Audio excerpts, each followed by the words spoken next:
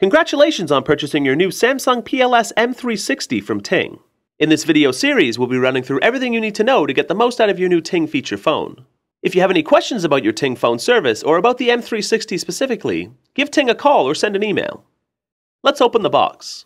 The first thing we see is the product manual. Pull it out. Below that, we see the phone wrapped in plastic. Now we can pull the cardboard insert down to reveal the phone's charger and the battery. With the phone on its front, we can remove the battery back. Push toward the bottom of the phone to remove the battery back cover. Now we can insert the battery. Line up the copper contacts on the battery with the contact points on the phone. The battery will only insert one way, so you can't get it wrong. On the right side of your phone, you'll find the charging jack.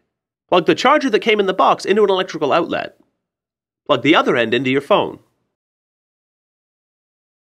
Here, on the right side, we can also see the dedicated camera button. Press this to open up your phone's camera, and press again to snap a picture. We'll go in depth with the camera in another episode in this startup guide. We also see the 3.5mm headphone jack. This can be used to listen to music or if you have a headset with an inline microphone to make hands-free calls.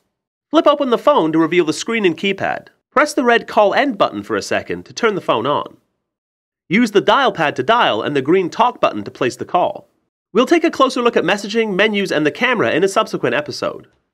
On the left side, we have the volume rocker. We can use this to control the in-call volume, to make the ringer louder, or to put the phone into silent mode by pressing and holding volume down for a second or two. With the clamshell closed, we see a postage stamp size screen. This displays information like the time, signal strength, ring mode, battery level, and so on, so you can see it at a glance without opening the phone to access the main screen.